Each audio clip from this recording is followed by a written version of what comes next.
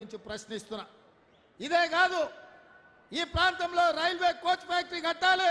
Kazipet railway coach factory కట్టిస్తే జాతీయ అంతర్జాతీయ స్థాయి గుర్తింపు వరంగల్కి వస్తుందని చెప్పి సోనియమ్మ మంజూరు చేసింది.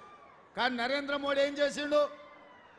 ఇక్కడ రైల్వే కోచ్ ఫ్యాక్టరీ కట్టడానికి వీల్లేదు అసలు రైల్వే కోచ్ ఫ్యాక్టరీలే కట్టలేమని అబద్ధాలు చెప్పి కాజీపేటకు మంజూరు చేసిన రైల్వే కోచ్ ఫ్యాక్టరీ లాతూర్కు తరలించుకొని పోయిండు. మరి బేజపోలను ఒక లాతు దన్నాల్సిన అవసరం ఉందా లేదా? మన రైల్వే కోచ్ ఫ్యాక్టరీని కాజీపేట కాదని లాతూర్కు తరలించకపోయిన ఈ సన్నాసులకు ఇవాళ బీజేపీలకు ఓట్లు అడిగే హక్కు ఉందా అని నేను అడుగుతున్నా.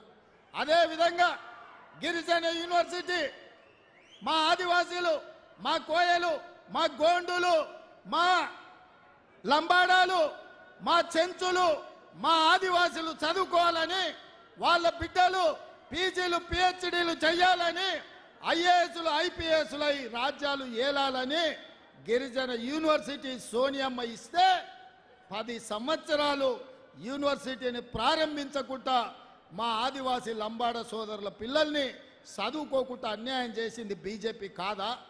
మేం పట్టుబడితే కొట్లాడితే మన్న పని మొదలు పెట్టారు పదేళ్ళ తర్వాత పని మొదలు పెట్టిన మీరు ఈ ప్రాంతంలో ఓట్లు అడిగే హక్కు ఉందా అని నేను బీజేపీ వాళ్ళని అడుగుతున్నా.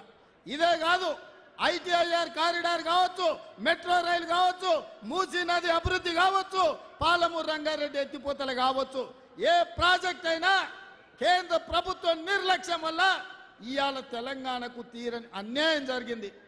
ఇదే కాదు మిత్రులారా నేను పార్లమెంట్లో ప్రత్యక్ష సాక్షిని.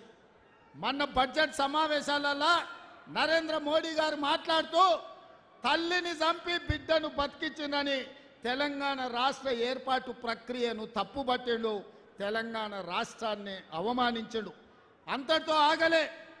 సోనియా గాంధీ మన్మోహన్ సింగ్ ప్రజాస్వామ్యాన్ని పాతరేసి పార్లమెంటు దర్వాజాలు బంద్ చేసి తెలంగాణ బిల్లును ఆమోదించారు ఆ తెలంగాణ బిల్లు చెల్లనే చెల్లదు. తెలంగాణ రాష్ట్రం వద్దే వద్దని నరేంద్ర మోడీ పార్లమెంటు సాక్షిగా మాట్లాడింది నిజం కాదా?